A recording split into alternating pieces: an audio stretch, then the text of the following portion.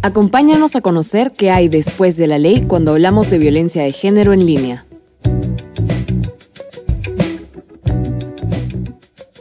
Hola, ¿qué tal? Mi nombre es Lucía León y yo soy parte del equipo de investigación y acompañamiento en Después de la Ley. El día de hoy está con nosotros Denise. Ella es hiperamiga y es también anterior líder del proyecto. Y vamos a conversar con ella sobre las características de una investigación feminista y el aporte que puede tener este enfoque cuando abordamos temas de violencia de género en línea. Denise es socióloga y especialista en desarrollo internacional y ha sido directora de investigación y programas en Hiperderecho. Actualmente desarrolla contenido sobre seguridad digital holística en la organización Tactical Tech y cursa una maestría sobre tecnología y políticas públicas en Londres. Bienvenida, Denise. Gracias, Lucía, por la invitación. Es muy bonito estar acá conversando contigo de este proyecto. Gracias a ti, estoy segura que pues tus insights van a ser muy valiosos, sobre todo porque tú fuiste una de las personas que eh, primero pensó en cómo iba a ser esta propuesta metodológica para poder realizar esta investigación que en realidad suma muchísimo a lo que se ha estudiado sobre violencia de género en línea en el país y en la región.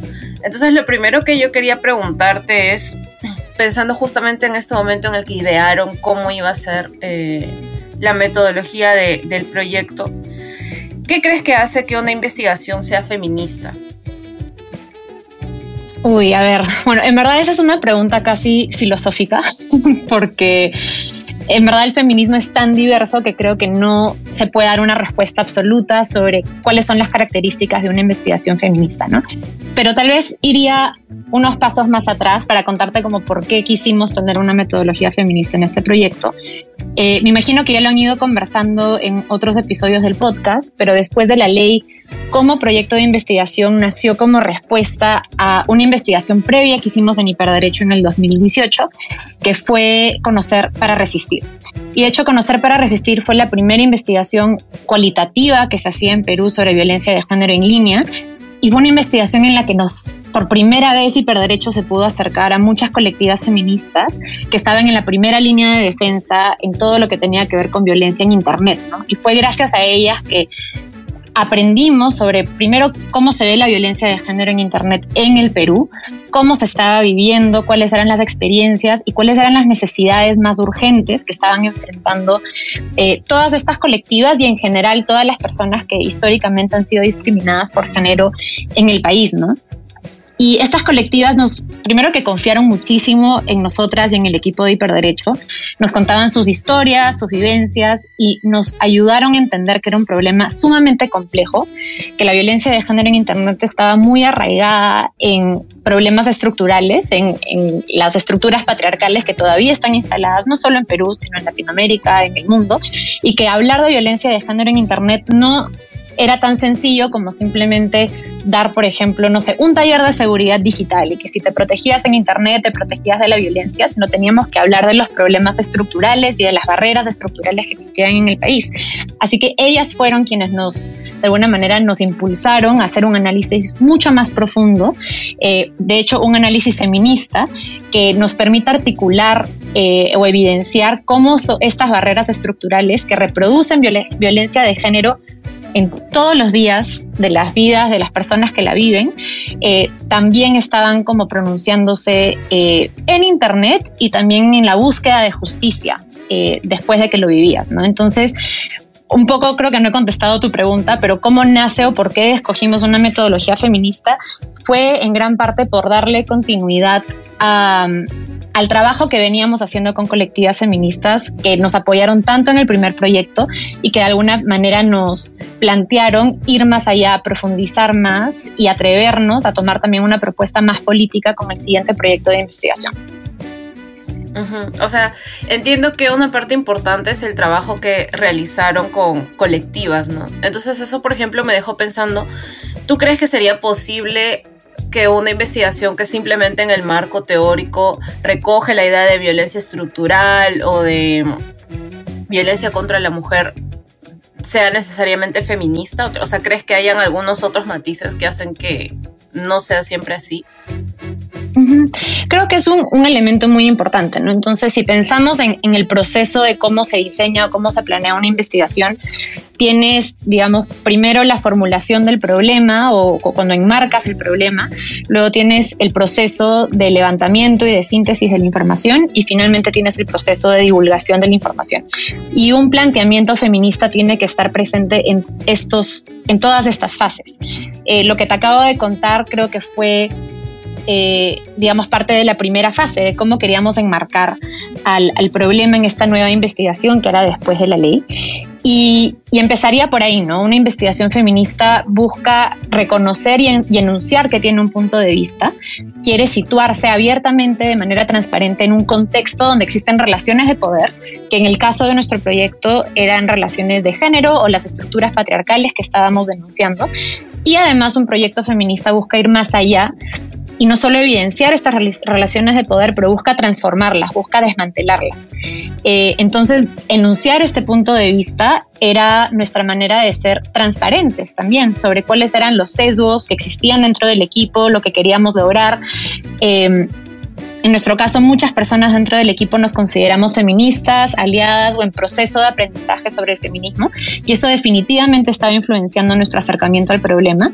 Eh, también creo que las personas que estábamos en el equipo queríamos que la investigación sea un instrumento para visibilizar la injusticia, pero también para continuar la conquista de derechos que se ha logrado gracias al feminismo y, a otros movimientos sociales que, que buscan transformar las relaciones de género. Entonces, sí, de alguna manera cualquier investigación que busca enmarcar el problema y busca situarse en, esta, esta, problemática de relaciones de género desiguales, yo creo que sí tiene un elemento feminista, pero ahí tendríamos que hablar también de las siguientes dos fases, ¿no? Cómo integramos al feminismo también en los procesos de levantamiento, síntesis y divulgación de la información. En nuestro caso, creo que eso fue la parte más retadora y diría poderosa del proyecto porque teníamos que diseñar un proceso que en la medida de lo posible se elimine o se minimicen las relaciones extractivas que suelen existir dentro de un proyecto de investigación. Es muy común que en las ciencias sociales, cuando se hace trabajo de campo o se busca hacer entrevistas, acercarte a una comunidad, eh, muchas veces, de manera inclusive inconsciente, a veces se reproducen relaciones extractivas donde las personas que investigan llegan, extraen toda la información que es útil para la para el proyecto y luego se retiran sin tomar en consideración qué es lo que se puede activar en ese proceso, qué afectividades se pueden activar, qué memorias se pueden activar o cómo las personas con quienes se trabajó realmente puedan beneficiarse del proyecto también, ¿no? Entonces creo que en Hiperderecho realmente le dedicamos muchos meses, te diría más de seis meses del proyecto, solo en pensar cómo logramos que este proceso no sea extractivo y que sea colaborativo y que sea lo más horizontal posible. Me imagino que en otros episodios ya han abordado cuál fue el diseño de la investigación, pero una parte muy importante de la investigación era trabajar con cinco personas que ya que habían vivido violencia de género en Internet y que buscaban denunciarlo frente al sistema de justicia y que nos dieron permiso y la oportunidad de acompañarlas en ese proceso de búsqueda de justicia, ¿no? Entonces, muchos de los procesos eh, influenciados por valores feministas que teníamos instalados, era, por ejemplo, cómo lograr que estas cinco personas sean quienes definen las preguntas de investigación y la dirección del proyecto. Cómo logramos que ellas también diseñen o tengan mucho, mucha agencia en el proceso de levantamiento de la información.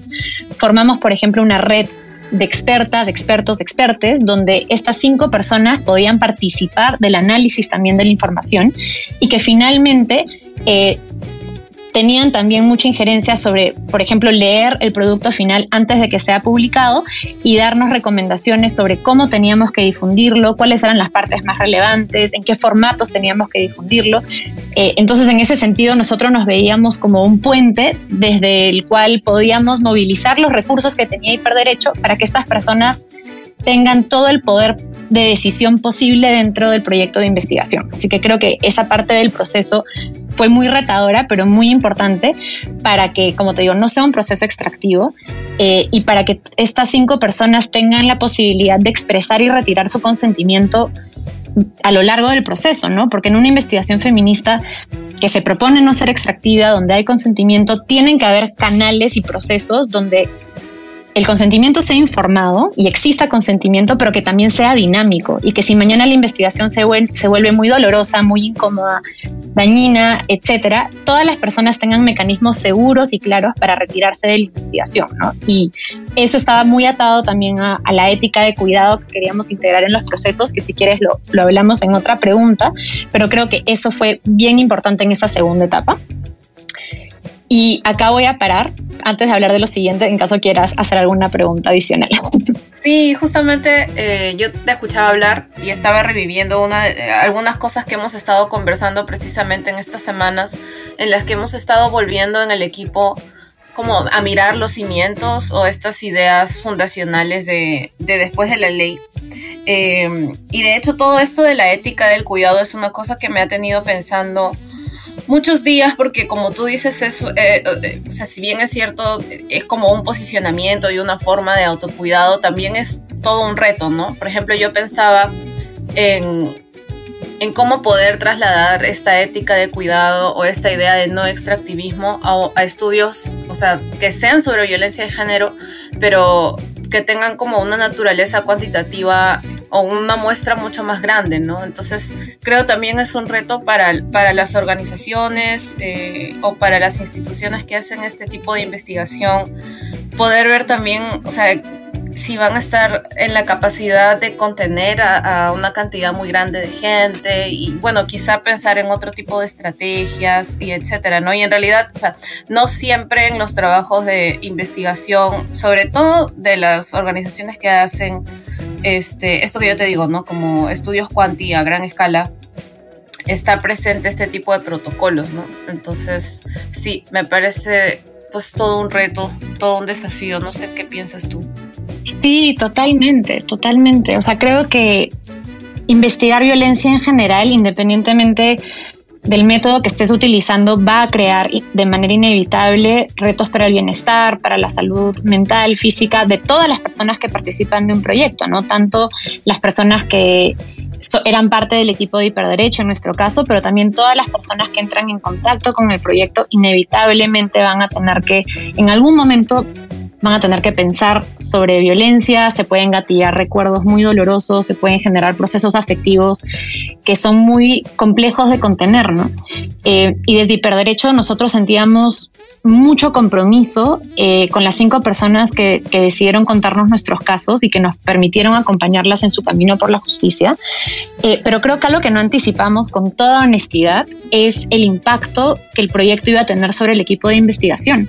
Y creo que eso fue como algo que que, nos dimos cuenta después de los primeros seis, siete meses, que todas las personas que estábamos participando en el proyecto sentíamos una tensión súper fuerte, porque había mucho desgaste, había mucho dolor, tristeza por hablar constantemente de violencia de género. La mayoría, la gran parte del equipo éramos eh, mujeres y personas que de alguna manera estaban involucradas eh, de manera directa o indirecta con el movimiento feminista. Entonces teníamos una sensibilidad muy fuerte por el tema y tener que conversarlo, tener que levantar datos sobre cómo, por ejemplo, el sistema de justicia eh, no está protegiendo a las personas que van a denunciar y lidiar con esa frustración todos los días, leer las noticias de manera continua para mantenernos al tanto y ver, por ejemplo, la impunidad que existe sobre estos casos en medios de comunicación, en redes sociales, en la justicia misma.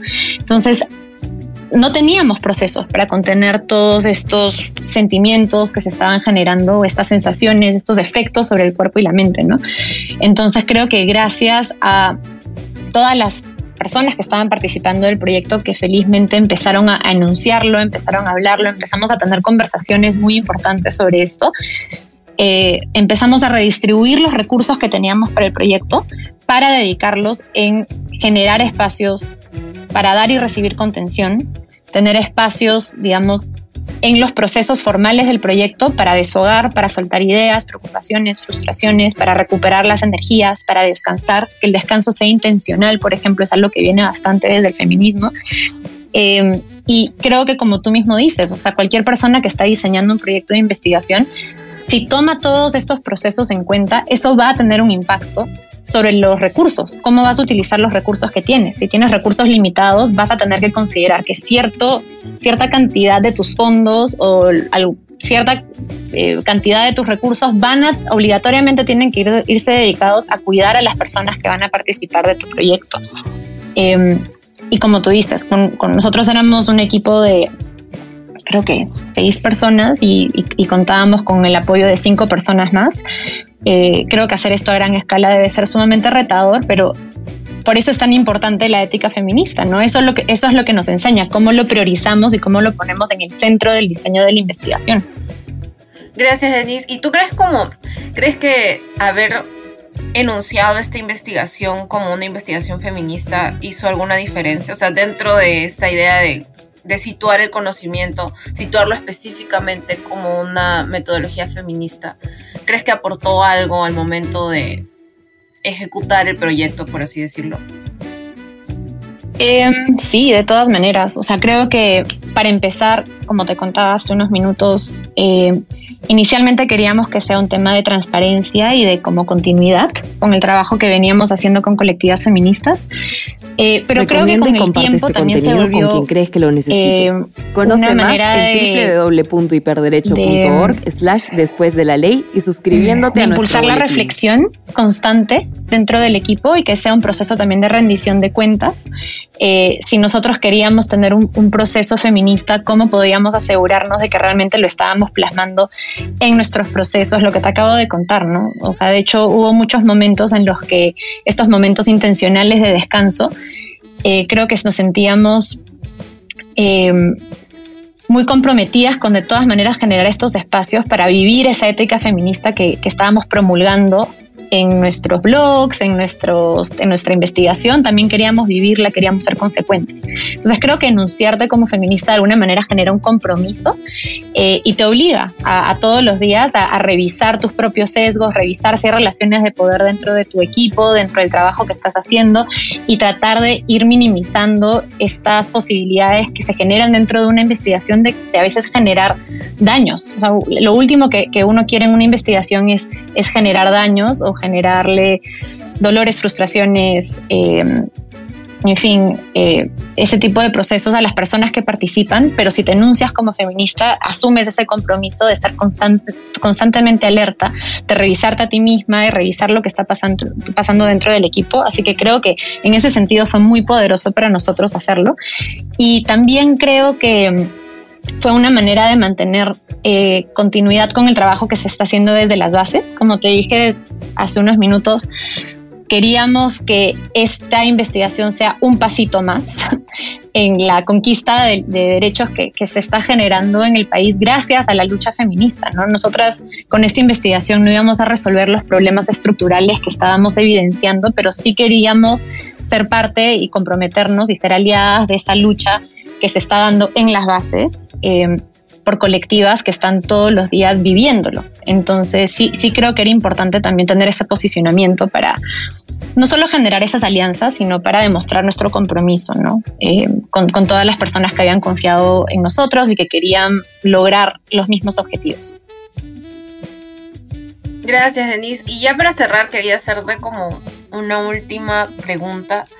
¿Crees que ¿Puede hacerse una investigación sobre violencia de género sin un enfoque feminista? ¿O qué aporte estaríamos perdiendo si es que se hiciera de esa manera? Yo creo, personalmente yo creo que no. Yo creo que no se puede. De todas maneras podrías hacer una investigación de violencia de género tal vez solo con enfoque de género, en el que te acercas al problema solo, digamos, desde el contenido, tratando de que el contenido refleje la problemática, pero como te he contado en nuestra conversación hoy, creo que el proceso es tan o más importante y creo que la ética feminista y los valores feministas, las metodologías que propone el feminismo, eh, nos permiten estar conscientes de las relaciones de poder que se generan a todo nivel. Si tienes un proyecto que busca desmantelar relaciones de poder, pero dentro de tu proyecto se están generando esas mismas relaciones o se están reproduciendo, creo que es totalmente contraintuitivo, ¿no? Y creo que nadie que está haciendo ese tipo de investigación quiere verse en esa posición. Entonces, de hecho, por eso te comentaba al inicio, hay estas tres fases de investigación y es bien importante eh, el feminismo te aporta esta posibilidad de repensar cómo formulas tus preguntas, cómo vas a interactuar, cómo, vas a, cómo van a ser las relaciones con todas las personas que se involucran en el proyecto e inclusive cómo lo vas a difundir. Hay muchas investigaciones de violencia de género que, por ejemplo, están escritas con un vocabulario sumamente académico o sumamente legal, que eso ya de por sí crea limitaciones y crea barreras al conocimiento. Entonces ahí, por ejemplo, solo al publicarla de esa manera ya estás generando una relación de poder que de repente podrías desmantelar si consideras estos valores feministas de la accesibilidad y, la de, y de equidad desde el diseño del proyecto. Y eso es algo en lo, de lo que fuimos muy conscientes e intencionales en, después de la ley también, ¿no? O sea, queremos generar la evidencia, pero cómo divulgamos esta evidencia de tal manera que no vamos a excluir a, nadie de esta información o que las personas que más lo necesiten la van a poder la van a poder conseguir de todas maneras. Entonces teníamos diferentes mecanismos, teníamos talleres, teníamos eh, conversatorios, teníamos eh, folletos, guías. Eh, de hecho, nos apoyábamos mucho en el trabajo de diseño que realizaba Cata Aguirre, que lograba transmitir todo este, todo este contenido que puede ser de repente muy difícil de leer, muy incómodo de leer, de la forma más lúdica, más amigable y más sorora posible, ¿no? Entonces, creo que si alguien quiere investigar violencia de género sin tomar en cuenta todos, estas, todos estos procesos eh, que fundamentalmente pueden crear eh, relaciones mucho más equitativas a lo largo del proyecto, creo que es, un riesgo muy grande que no vale la pena tomar, ¿no? Entonces yo sí recomendaría a cualquier persona que está escuchando este podcast que, que consideren eh, implementar o informar sus proyectos con esta metodología más allá del tema. Creo que inclusive puedes tener investigaciones feministas que no sean sobre violencia de género, pero que al hacer desmantelas relaciones de poder que de igual manera están estás trabajando por medio de esos procesos por una sociedad más justa y más equitativa, ¿no? Muchas gracias, Denise. Se nos acabó el tiempo. A mí me encantaría quedarnos hablando sobre divulgación de la información, porque pues es un tema con demasiadas aristas, incluso pensando más allá del género, ¿no? En esta idea de hacer accesible el conocimiento. Espero en realidad que, que esta serie de podcast también sea, sirva como estrategia para eso, ¿no? Para seguir conversando sobre estos temas, quizá desde otras plataformas, no, no siempre desde la palabra escrita.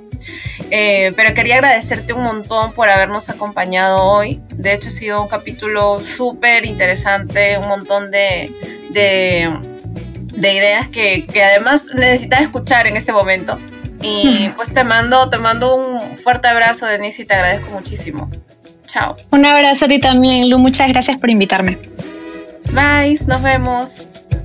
Este fue un podcast de Hiperderecho, basado en la investigación y acompañamiento sobre la atención de casos de violencia de género en línea para alcanzar la justicia de género.